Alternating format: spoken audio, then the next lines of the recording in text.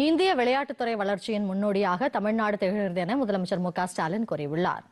Formula போர் Chennai car பந்தயம் வெற்றியடைந்துள்ளதாக கூறி சமூக ஊடக வலைதளத்தில் பதிவிட்டுள்ள அவர் chess olympiad Chennai open tennis தொடர் ஸ்குவாஷ் உலகக்கோப்பை கேலோ இந்தியா போன்ற பல்வேறு விளையாட்டுப் போட்டிகளை நடத்தி தமிழகம் சிறப்பான வளர்ச்சிப் பாதையை அமைத்து வருவதாக குறிப்பிட்டுள்ளார். எல்லைகளை தொடர்ந்து விரிவடைய செய்வதுடன் இந்தியாவின் விளையாட்டு தலைநகரம் தமிழ்நாடு என்ற பெருமையை உறுதியாக தக்க வைப்போம் என முதலமைச்சர் தெரிவித்துள்ளார்.